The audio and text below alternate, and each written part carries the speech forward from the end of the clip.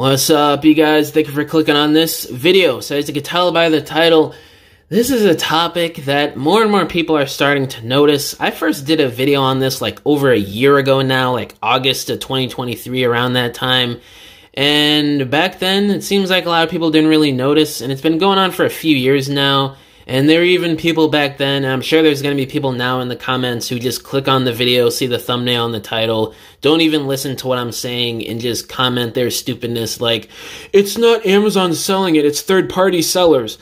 No, these, these are examples of Amazon themselves selling new Transformers product for above retail price, sometimes 10, 15, 20 something dollars more than they should be, especially with leader class figures. Now, today at the time of this recording, uh, their prices aren't that high. But if you go any given day and you just go and you just scroll through Amazon, the prices fluctuate and sometimes you do see new leader class figures or whatever Transformers figure you want to throw out there for sometimes $20 more than what they cost. Basically scalping new product that Amazon themselves are selling.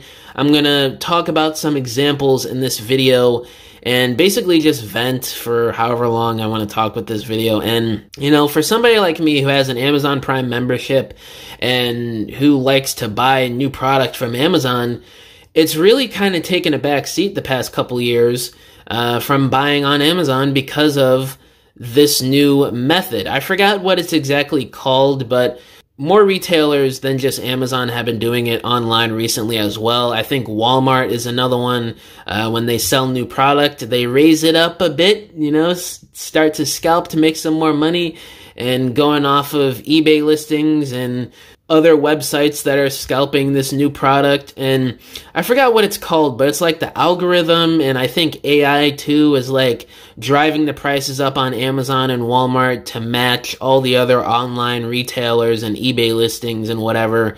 And it's very scummy, it's really stupid, and it just totally ruins the point of having these uh, mega corporation retailers online selling the product instead of your typical Joe Schmo down the street buying up all the product at the store to resell it for 20 30 40 dollars more than what it costs online and it really does feel redundant to the point of where am I going to be able to order my product if I can't find it in stores and all the other websites are just scalping it to high heaven?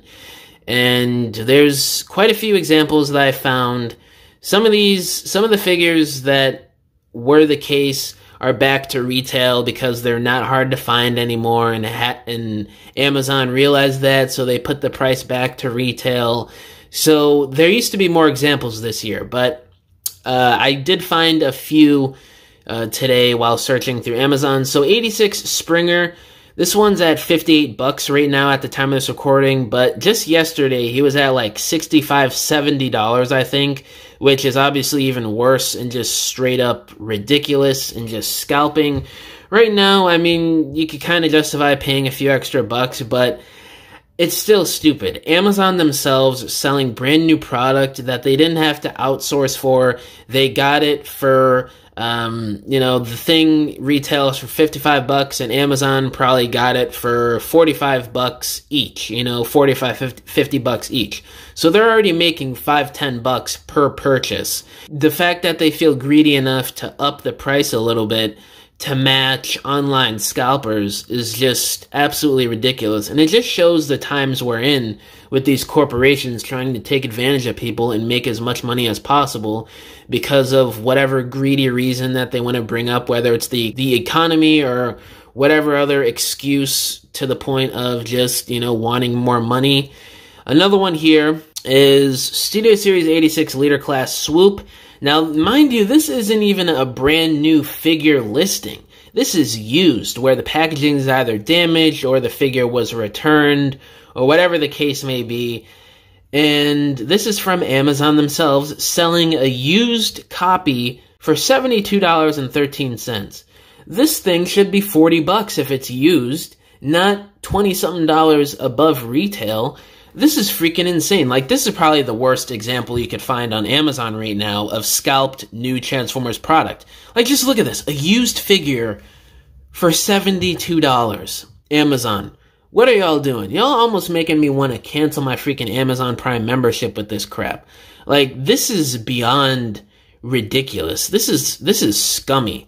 Uh, and whoever is buying this, you obviously don't respect your money and you don't respect yourself as a person, and you just want to be a plastic whore who wants all the new product no matter how much you got to pay for it. So I don't know what to say to those people other than you're just being stupid with yourself and your money.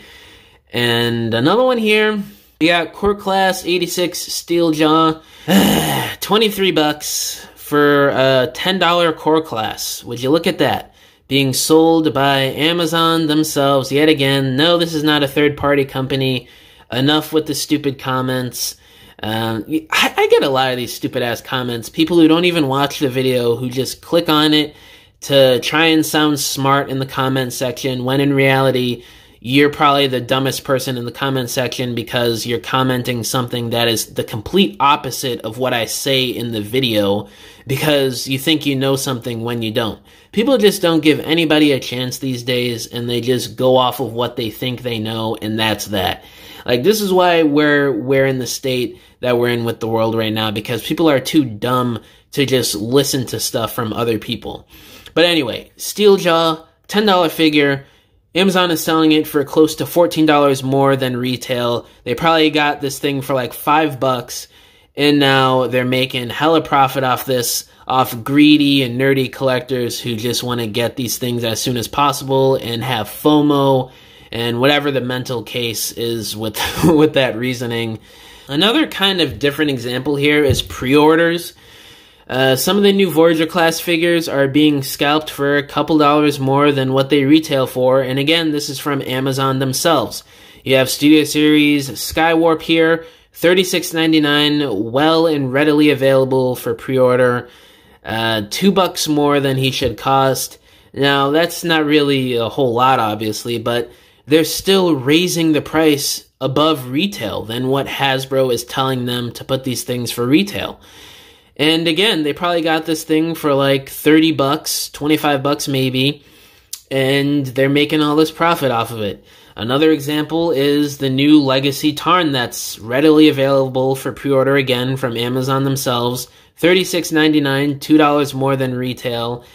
And I really do feel like more people should be upset about this. And where us as a community and us as a society are kind of just letting this happen, there's billions of us and there's hundreds of them and we're just letting these corporations steal people's money and just scalp to high heaven and become like everyone else online rather than being that good source of getting new product for the actual retail price where you don't have to pay anything extra. And it seems like gone are the days of that pretty soon here. Um, and it's just insane to me that this is what it's come to, and it seems like it's just getting worse every year.